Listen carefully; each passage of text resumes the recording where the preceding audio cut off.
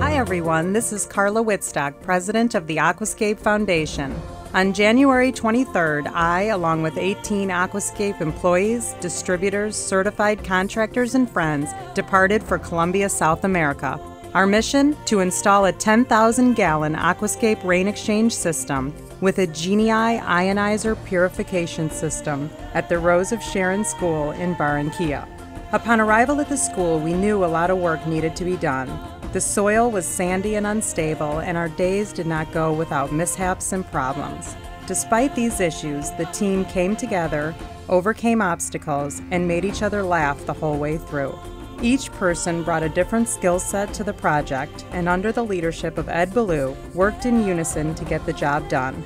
Together, this team assembled 300 aqua blocks, shoveled 30 ton of sand, installed a 500 pound liner, hung gutters, nailed solar panels, and did dozens of other tasks to accomplish our goals.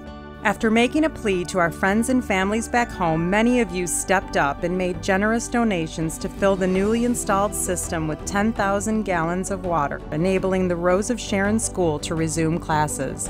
We were able to raise enough money that we were able to purchase mattresses for an elderly couple who lived next door after we had learned that they had been sleeping on cardboard boxes. And in the end, our main goal was accomplished. The Rose of Sharon School has 10,000 gallons of purified water that will be replenished when the rainy season arrives. The school will now be able to remain open, providing a daily nutritious meal for the 500 children who currently attend. Our team left becoming better people than when we arrived.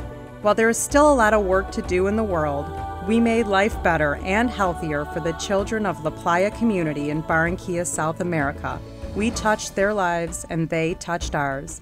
Their plight continues and their circumstances will weigh heavy on our hearts.